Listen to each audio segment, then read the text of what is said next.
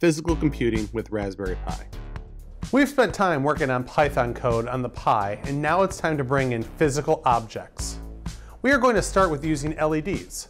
Light emitting diodes are a simple way to bring physical computing to life. We will work to turn the light on and make it blink. Once you understand how to do this, the entire world of physical computing will be open to you. Materials Raspberry Pi Model 3 B, micro USB power, HDMI cord, HDMI monitor, 8 gig micro SD card, mouse, keyboard. Key concepts GPIO, time, and sleep. Getting to know Raspberry Pi. One of the best things about Raspberry Pi and Python is using the GPIO pins to create just about anything you want. GPIO stands for General Purpose Input Output. They are the 40 male pins on the side of the Raspberry Pi. Each pin has a specific purpose that can be used for ground, power, connecting to physical computing objects, and more. Here's a look at the pins. These pins serve many purposes, and you want to make sure that you take good care of them. They can bend and break if you are not careful. Bent pins could make it difficult to add other components to the Pi later. Solderless breadboard. A breadboard allows makers to easily connect multiple components of a project without the need to solder. There are hidden metal tracks beneath the breadboard that connect all of the components together. You do not have to have a breadboard to build physical computing projects, but it really helps when you are prototyping ideas. Jumper wires. There are three types of jumper wires male male, female female, and male female. You will use the different wires for different parts of a project. You will need a female end to connect to Pi and a male end to use the breadboard. You will need male male to go from one spot on the breadboard to another. Have a collection of each type of jumper in different lengths is always helpful when working on physical computing projects.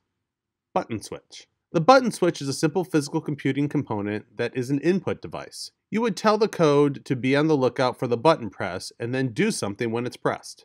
Light emitting diode. LED. The LED is an output device. It is controlled by the program you have created. You could code a program to turn the light on when the button is pushed.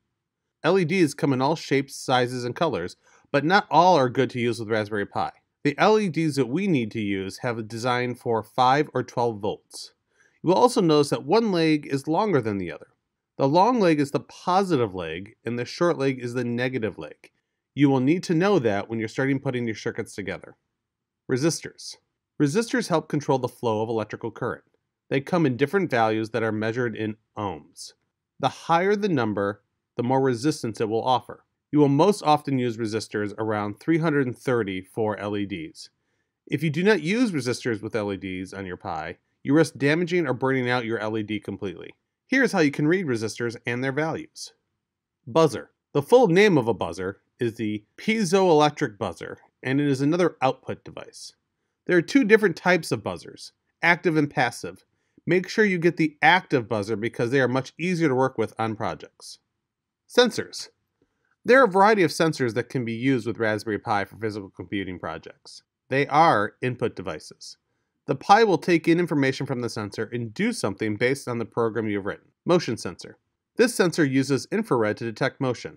Perfect if you are planning on creating a trap or an alarm for your room. Temperature sensor measures the temperature of the area around the sensor. This would be good in gardening projects or projects that require a specific temperature. Humidity sensor measures the general humidity of a room or soil. Perfect for predicting weather or checking to see if plants need to be watered. Light sensor. This sensor checks to see if there's sufficient light or darkness, depending on your program, and will trigger something based on the code you have written. This could be used to create a night light that turns on when the room goes dark. Project. Let's get physical using an LED. Materials LED, three female female jumper wires, one 330 resistor, one Raspberry Pi. The first thing you're going to do is make sure that your Raspberry Pi is turned on. Next, you're going to attach one end of a female female jumper to your resistor and the other end to the long leg, positive, of the LED. Take another female-female jumper wire and connect it to the other side of the resistor and then plug that jumper into the 3 volt GPIO pin on the Raspberry Pi. Take the last female jumper wire and attach it to the ground GPIO pin on the GPIO and the other end to the short leg, negative, of the LED. you should have a circuit that looks like this. Once you wired everything together, the light should turn on. If it does not, make sure that all the wires are connected correctly. The mistake that most often occurs is that the LED legs are connected to the wrong wires. If it still does not light up, try a different LED. The reason that the LED lights up without any code is because the 3 volt pin is always on. That means it is always sending power out. By connecting the LED to the 3 volt GPIO pin and the ground, you are completing this circuit. We are now ready to add code to make the light turn on. Take the female jumper wire connected to the 3 volt GPIO pin and move it down to the GPIO 25 pin. This is the 11th pin from the top on the outer row of the GPIO pins. Open a new Thonny tab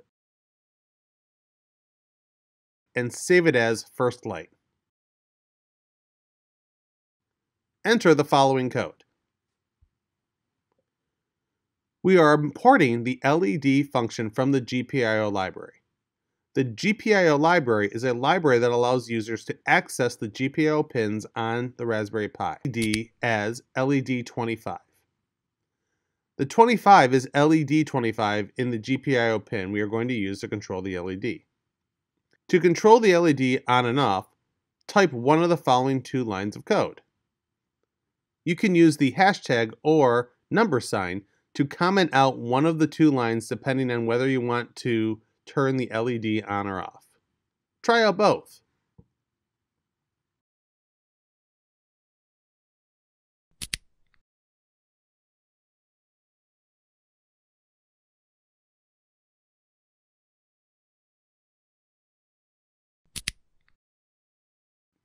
Congrats, you've controlled an LED with Python code. Now that you've turned the light on and off, it is much easier to have the program do that for you. Add the following code to make your LED blink.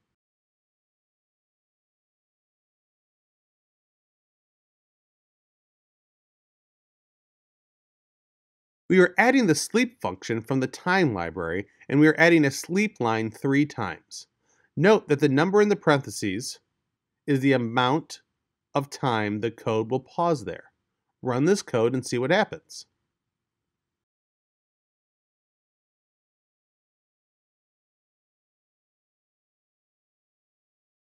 The light should turn on, off, and then on again.